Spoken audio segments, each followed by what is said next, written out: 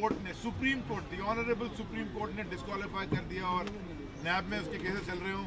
और वो कह के जी मैं पार्टी का फिर सदर बन जाऊँगा और उसकी पार्टी इसको बना भी दे और कॉन्स्टिट्यूशनल अमेंडमेंट एक आदमी के लिए पास कर दे। तो मैं ये